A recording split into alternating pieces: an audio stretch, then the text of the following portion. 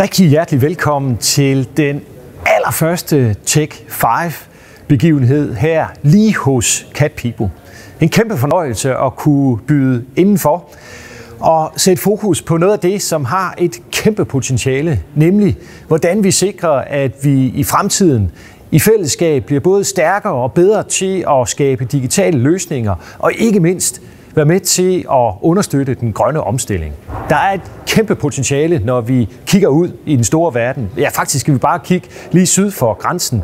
Den regeringskoalition, der har sat fuld tryk på den grønne omstilling, og også den meget store usikkerhed, der i øjeblikket er i verden, der er med til at understrege behovet for ikke alene at få skabt gode, stærke, sikre digitale løsninger, men også at få understøttet den grønne omstilling, så vi kan have en bedre sikre, mere bæredygtig og mere tryg verden.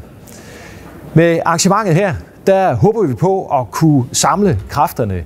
Nogle af de mange, mange stærke kompetencer, der er i Aarhus og i resten af Danmark, der skal være med til at både skabe fremtidens løsninger, men også skabe nogle rammer, så vi bliver i stand til at tiltrække noget af alt det talent, vi har brug for, for at kunne skabe fremtidens løsninger. Vi tror på i Aarhus, at digitalisering og nye teknologiske løsninger for den grønne omstilling er vejen frem. Derfor åbner vi også dørene øh, lidt senere på året til en stor ny udgave af Internet Week Danmark. Så når vi i maj mødes også til Internet Week Danmark, så bliver det blandt andet i et samarbejde med Tech5.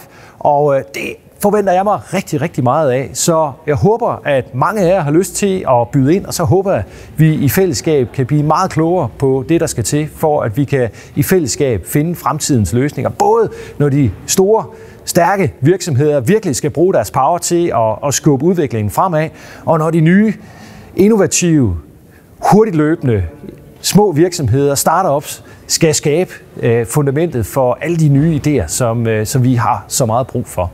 Velkommen til alle sammen.